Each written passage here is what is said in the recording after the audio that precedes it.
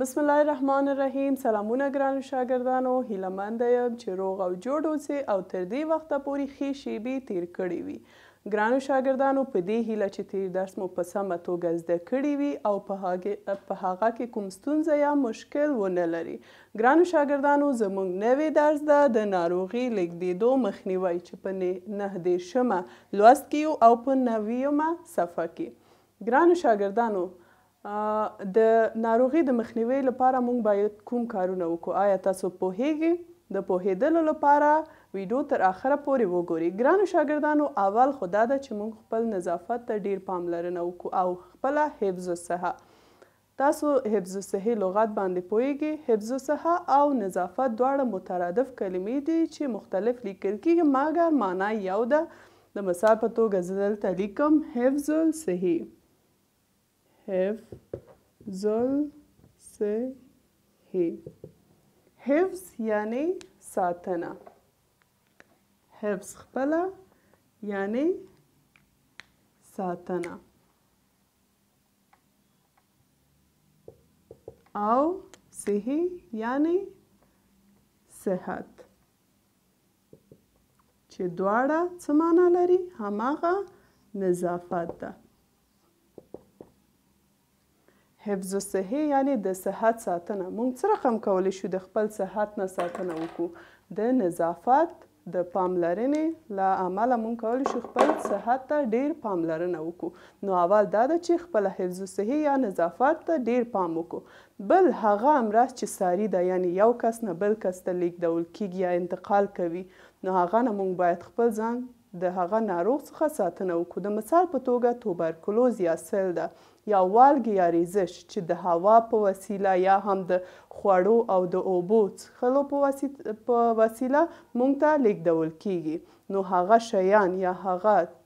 توکې چې هغه ناروغ استفاده کوي مونږ هغه نه باید استفاده ونه کړو لکه قاشق ده ګیلاس ده بل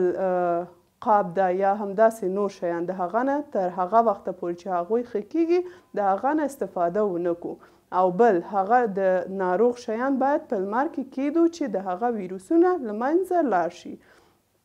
بل هغه کس چې ناروغه ده د هغه نه مې هیله دا ده چې هغه هم باید همیشه ماسک واچوي ځکه چې د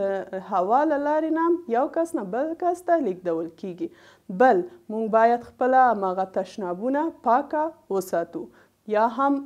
هغه پاکه وساتو او لری ځای کی یعنی باید په سمه توګه هغه جوړ شی تر څو چی د ویروسونو یا میکروبونه مخنیوی وشی بل ګرانو شاګردانو ځینی حشرات چی مونږ تیر درسونو کی ویلی وو چی هغوی ته ناروغی لیږدونکی بلل کیږی چی هغه غوماشی ده یا خسک ده یا موږکان مچی مچۍ او داسی نور چې یو کس نه بل کس ته ناروغي لېږدوي، د هغوی نه باید خپل ځان وساتو. د دوا پاشي یا د درملو د شیندلو په واسطه مونږ کولی شو هغه هغوی نه لرې اوسو. بل ګرانو شاګردانو مونږ باید نوي زېږېدلي ماشومان واکسین کړو، ځکه چې شپږ خطرناک مریضي ده چې ماشومان زر په هغه باندې اخته کېږي، چې اول د تیتانوس، نری رنځ، مثلا دیفتري، توري ټوخلي او بل تيتانوس ده او شرې او ګوزڼ چې دا ټول هغه خطرناک مريضي ده چې يو ماشوم په هغه باندې زر اخته کيږي او بل د دې لپاره چې ماشوم په دې باندې اخته نه شي يو واکسين ده بل د مور شيدې هغه بايد وخوري هغه لازمه يا کافي اندازه چې دوه نيم کال د يو ماشوم حق ده هغه بايد د مور شيدې نه تغذيه شي